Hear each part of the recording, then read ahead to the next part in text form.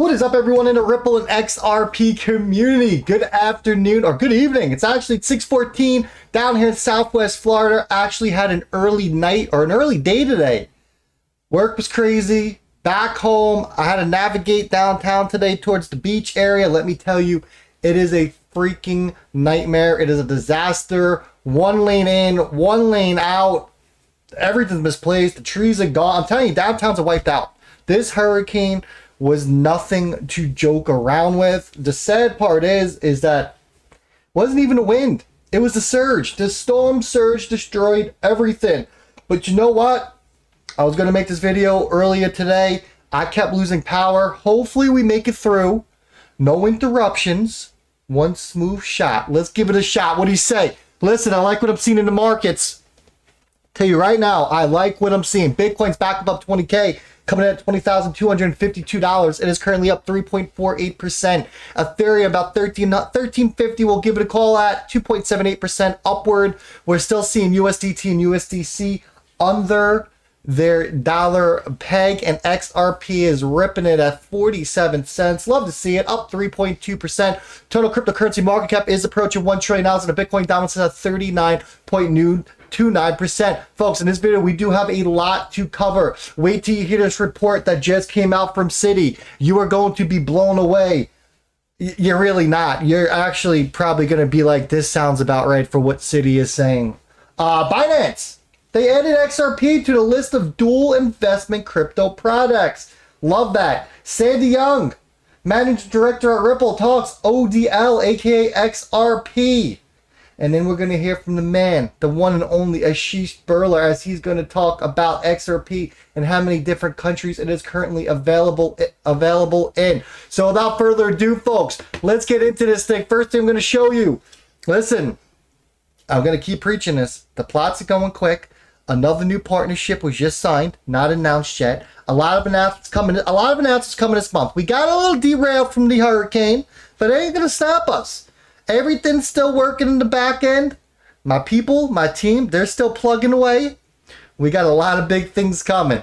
A lot of big things coming. And if you did fill out the, the form for the PayPal payment, just give us some time. We're going to get everything sent out to you. Things are just a little bit hectic right now because of Hurricane Ian. Now, Michael, my man, sent this over to me this morning. This is that Citi report I'm talking about right here, folks. It says DEX have grown faster than centralized exchanges over the past two years. Citi said in a research report Thursday the gap is likely to widen as users move away from centralized platforms to avoid their more erroneous know your customer procedures. You don't say Citi. You don't say. Users are looking to move away from centralized platforms to avoid KYC. Come on. We know what you're doing. We know where you're taking this. You want to have a piece of the pie. You want to try to cut down. You want to find a way you can get in that you can advertise this crypto, that you can sell those cryptos, and that you can guarantee that everyone that comes to you to buy a cryptocurrency or digital asset is going to be KYC'd. I see what's going on here. You're not tricking anyone. Here's the article. Can't get any more clear. Decentralized crypto exchanges have grown faster. We all know that. DEX is a blockchain-based app that coordinate large-scale trading of digital assets between many users by, by the automated algorithms, instead to, of the traditional approach of acting as a financial intermediary between buyers and sellers. That's how they make money, folks. They want to be that financial intermediary. That's how they're going to make money. It is that simple. And watch a group put this out just in.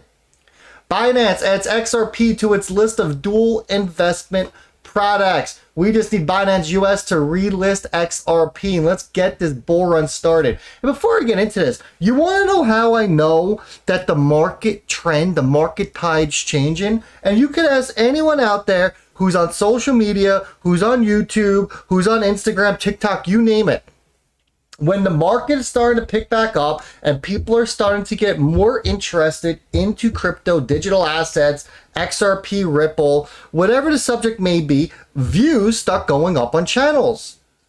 Views and engagement start going up on tweets. I will tell you right now, I'm not ashamed, I'm not afraid to admit it. Views have been going up on the channel. I mean, not only because they love Ripple Van Winkle and they love the content I'm bringing, but new people are coming along because they're hearing about this stuff. Kim Kardashian coming out and being sued isn't all that bad for the NFT game and the cryptocurrency game, folks, because people are going to get interest now. They're going to be like, wait a second, what is this stuff? What did she do? I don't know if anyone remembers, but about four years ago, she was caught uh, on uh, at the Lakers game and she had one of those Lumens cases. It was the selfie cases. Anyone remember that? You had your phone in there and it, and it gave you a selfie light so you could take the best, the perfect selfie picture. Well, you know what happened after that was caught one time? That product absolutely blew up. You couldn't even find them. The company went, I mean, it was a one hit wonder. The company's not even around anymore, right? You don't even know what they're doing. I mean, maybe they have product out there, but you get the point here. So that's how you know that we're starting to get uh, more newer people and, and, and older people returning back to this because viewership and engagement starts to go up. Now, for anyone out there who's going to be creating a YouTube channel, looking to do a TikTok or any kind of video, Twitch, whatever it may be, I'm going to give you one tip of advice. Stay consistent. Stay consistent. There's going to be times where it is down.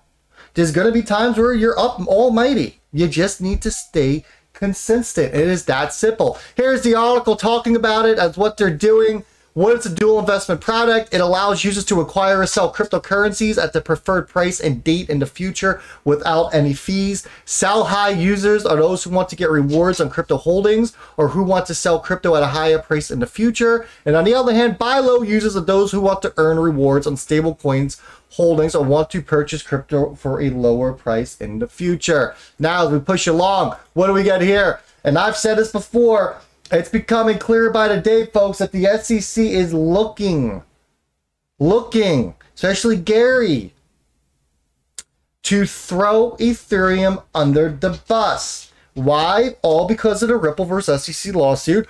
All because all the facts and information that have been put out there that has exposed Ethereum, exposed the corruption, and have exposed what is going on. Listen to this clip.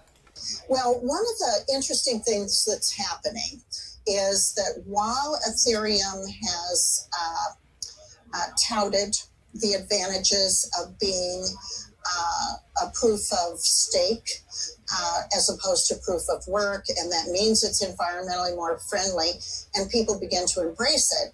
Uh, I, I, I, think that there's very little understanding uh, of how that can affect its more centralized approach and one of the people who I think really understands that is Gary Gensler, who's the head of the SEC.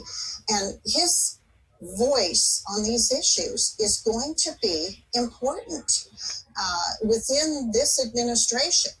So um, I'm pretty confident that he's the jury's still out with him on uh, on Ethereum and where it should fall in terms of a regulatory um, bucket.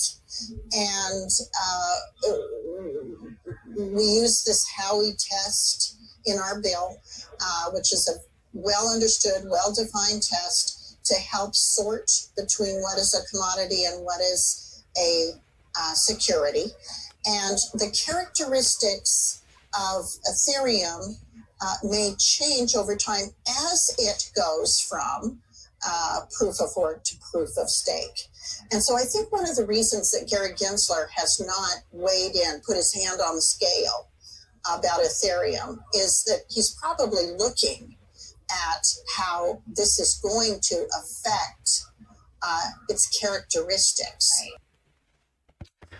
There you go. There you go. he hasn't made a ruling on it.